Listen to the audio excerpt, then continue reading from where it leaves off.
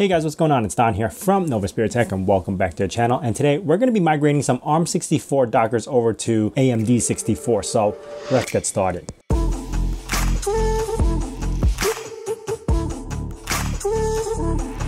Now today's video is not going to be really a tutorial tutorial. This is something I need to do in my environment because I'm running into some CPU bottleneck issues where certain softwares that I can run on my ARM64 like my Raspberry Pi struggles a lot to run. So instead of running it on the Raspberry Pi 4 CPU, I rather run it on a VM or something a little bit stronger so I could get a smoother experience.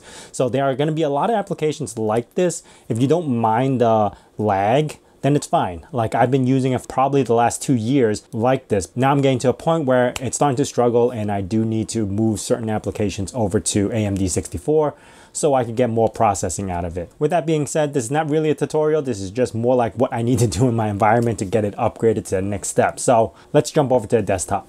All right, so here's a prime example of what I'm talking about. So this installation of Guacamole is actually running off the Raspberry Pi and I am gonna do tiny 11. So it's a VM I have on the server and I'm just going to show you what I mean. So right now I have everything loaded. Its default is just tiny 11.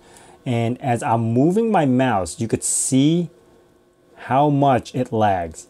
Now, in most cases, I don't really care uh, if I'm not using this as much as I want it to be, but you could see where the struggle is. It's so slow. I'm moving my mouse and it takes forever. And if I go over to my Portainer setup and actually head over to that guacamole and check out the stats. As I move the window, I'm just gonna do this for like about 10 seconds and you can see I, I could barely move it. In most cases, I don't mind because I usually turn off the background and I have everything as low as possible. So it does perform okay on the Raspberry Pi 4 using guacamole. But look at the CPU, it's 120% or it keeps going up and up. It struggles. Now I'm gonna use the same VM on another install that I actually have on my x86. So I'm going to go over to Tiny 11. And this is running off an actual computer. And look, I could actually move the windows way much better, even running the same background and all that stuff. You could see it's just moving around.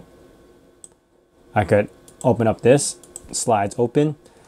And that's what I mean by performance issues the CPU is just so much stronger on this setup than it is on the Raspberry Pi 4 where I can't keep up with certain demands. Now, there's a lot of software in Docker that you could just run on Raspberry Pi, which is fine, like dashboards or snippet programs, stuff that doesn't rely on CPU as much, and runs perfectly fine on the Raspberry Pi 4. But anything that requires something like this, graphic intensive or processing power, I'm gonna start moving all those to an AMD 64 installation. Now, I can't just do a backup and restore like I normally would on a Docker. The biggest problem I have is the architecture. I'm running this on ARM64 and then the other one I wanna move to AMD and you can't just do a backup and restore and have it work. So I do have to reinstall the stuff brand new. But luckily for us, if you're using the Pi hosted template, most of the templates that we have in there, or almost all, have the configuration stored at a specific location where I can just copy over and I restore all my data without having to lose anything, even though I'm migrating to different architectures. That's basically the rundown of what we're doing. Now I'm gonna close all this out and I'm gonna use Guacamole as a perfect example. And here I'm gonna create a brand new Docker. Well, I'm gonna create a brand new container and I am gonna call this uh, I'm going to start off with 201 and we're going to call this Docker LXC and I'll make a password for root and then I'm going to go next. For the template wise, I am going to do Debian 12. We're going to run this on the storage local disk. Uh, we're going to run this off local VM and we could use 8 gigs of space. 32 is fine too. You don't need that much space for this. You could always expand it. Uh, cores, I'm going to give it one.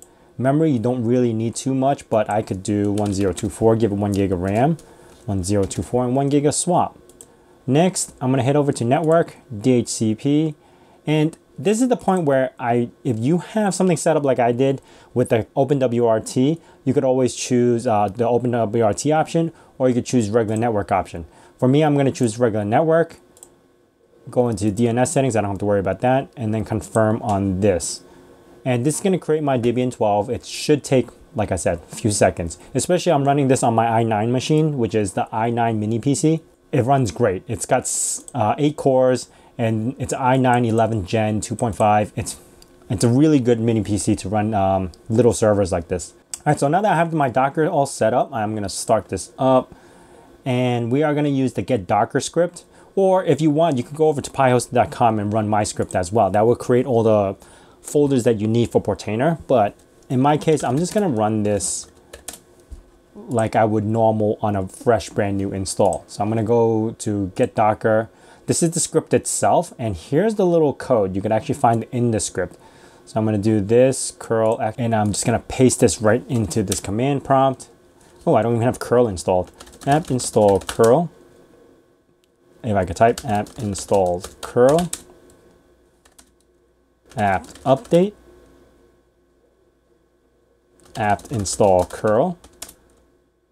Uh, this is more of a raw cut. I'm not really going to edit these things out. All right, uh, let's grab this and we can run sh install docker and since we're running root already, we don't have to really worry about passwords and stuff. And this will take only like about a minute or two. Now, while I am loading this up, let's talk about my sponsor. And today's sponsor is PCBWay. Now, if you're looking for manufacturing purposes or to sell products that you have made either through 3D printing or PCBs, uh, look no further than PCBWay. You can simply go on their website and get an instant quote to see what you need. They also have advanced technology that will make your products perfect every time. So not only do they support PCBs, they also have SLA printing, filament printing, injection molding, a bunch of stuff that you need to get your project off the ground. Best of all, right now, they do have free shipping. So if you're looking into expanding your products, look no further than PCBWay. Now back to the video. All right, so now that Docker is installed, we should be able to run it. I might have to reboot this. Let's see, Docker. It works, so I don't have to actually worry about this. I, I think the only time I have to restart this or uh, log out and log back is, is when I have a user and I need to add the Docker group to the user. But for now, we're good. Uh, what we're gonna do next is actually transfer over some data so we have the information that we need. So my original Portainer, which runs ARM, uh, is on 93, so I'm gonna pop over there. And here we are, we are in the, uh, my ARM, uh, uname, uname dash A, and you could see right over here is ARC uh, 64, so it's ARM 64. And if I list out my structure, I have some stuff going on in here, but let's go over to our Portainer folder. So it's in files, app data, and then I think it's config. There you go. Now I do have guacamole 1 and guacamole because I was testing some stuff, but this is the actual information that I need, which is guacamole. So how I'm going to transfer files at this point is basically SCP over the information. Um, the easiest way for me because I don't have anything up and installed, so I'm just going to do nano etc ssh and then sshd underscore config. And in here, I am actually gonna allow for, I'm not planning to create a user. So I'm gonna allow root login and I'm gonna do yes. And I'm gonna do system ctl restart sshd.service. And that should be good. Let's see if I could SSH into this right now with the root. So let's SSH. Oh, first we need to grab the IP dash A and 241. Okay, SSH root at 192.168.105.241. Yes, and let's see. Oh, it works. Perfect. I could exit that because I don't need that. So now I am going to do something called scp-r uh, guacamole slash star. Um, and then we're going to go to root at 192.168.105.241. And we're going to put colon slash root slash guac. I'm just going to change the name of the folder. And let's see. There is no folder there. Let's make one. ls make dir guac. And let's try that again. Oh, it's permission denied because I'm not running sudo. So let's do that again with sudo. Yes. And there we go. So this is a very raw cut of me just figuring out stuff and working as I go along the way. Most of the time when I run this, I, it's a little bit more fine tuned. I know where the mistakes are going to happen and stuff like that. And I organize my thoughts. But I'm just doing this without having any transcripts or anything. I'm just going through it. So you could see like I would make mistakes and then make a folder here, go back in there, do this and do that. And then now I have what I need, which is guac. Now this folder contains all the information that this guacamole has, and now I could install my Docker. Now the Docker that I need is uh, guacamole, which is right here. I'm gonna remember these names. And we're gonna do a Docker run dash D, and we're gonna name this guac, so I know what it is.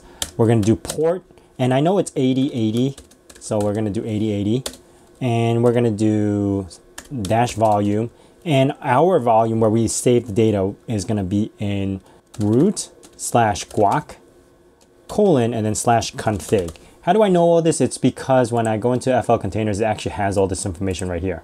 So that's what I'm just grabbing and changing up or doing whatever I need to do. So now we got that. Now we just have to paste this in there and make sure I am grabbing latest. And here we are installing the Docker with the commands that we need. And once this starts up, it should have my original data in there. But now instead of running it on ARM64, it's running on AMD64. Now again, if I go back into this, because I have so many things installed and they're all saved in these config folders, I could do the same step over and over again and then get all the stuff migrated over if I need to, or at least the stuff that requires a lot of CPU. So now that we know that it's installed, we could run docker ps and it's up for 18 seconds. The name is guac and the port is 8080. And again, I remember this is um, 241. So let's test this out. 192.168.105, 241, 8080. There we go. We should have our original username and password and we have all our connections saved. And now if I run tiny11, there we have it. Everything is working. It's much smoother than when it's running off the Raspberry Pi and everything's installed just like that. Now, if you want to use Portainer, because I do have AMD64 Portainer template, uh, we can do so. We could just head over to our Portainer, go back to home. Actually, we don't even need to go to home. Just go to environments, add an environment, and in here we have a Docker standalone or whatever versions you have. We're going to do Docker standalone start wizard. And here we have the actual script that we could run to get Portainer agent to work without having to actually open the API or anything or even install Portainer itself. We just need the agent. So if I go over here, head back into my VM over here, clear that screen. You see how I could paste that? It's just going to install the Portainer agent. And now if I go to Docker PS, I have that agent up and running. The port is 9001. I'll head back into my Portainer, call this mm, Docker LXC, and the environment address is 192.168.105.241, and it's 9001, port 9001. Connect, successfully connected. And if I head back to home, now I have three connections here. Well, one is for my NAS, one is for the 64, and now I have one that's called Docker LXC. I could do Live Connect, and it's going to show two containers. One, which is our guac, and the other one is our Portainer agent. And I don't have to run the full-fledged Portainer in this setup. And I could still control everything I need. Just remember, if you go into uh, using this, make sure you change this to AMD 64. And then when you install whatever application you need, uh, it will be a part of AMD 64. And if I go to app templates, I have just as much apps as I do in ARM64. And there we have it. We have everything set up. Now it's just a tedious process of me migrating the stuff I want over to a stronger PC. Um, this way I won't have any problems. And it leaves me a lot more overhead to play around with my Raspberry Pi so I could run the lower end tasks without having to have the CPU struggle all the time. Anyway, that is it from me guys. I know it's a quick and dirty video of how I'm just migrating this stuff over. If you guys have any questions about this or know a better technique, let me know down in the comments below. But this is the best way that I could find to change from ARM64 to AMD64. And if you guys are new to the channel, consider subscribing and also hit that bell notification icon so you know when the next video is going to be out. And as say my nerd cave, hack till it hurts.